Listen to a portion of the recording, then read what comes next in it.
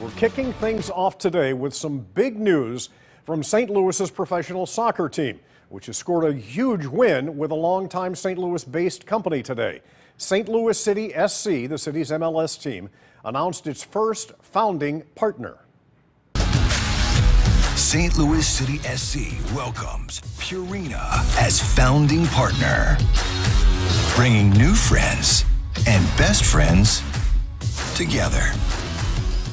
And the Purina logo will be front and center on the team's jersey, and the uniforms will be by Adidas. The team says this is just another big step toward a historic inaugural season in 2023. The stadium in downtown St. Louis is on track to be finished in 2022. The MLS awarded St. Louis an expansion franchise in 2019. There's been much coordination with MoDOT and federal highway space for the 38 acres under construction.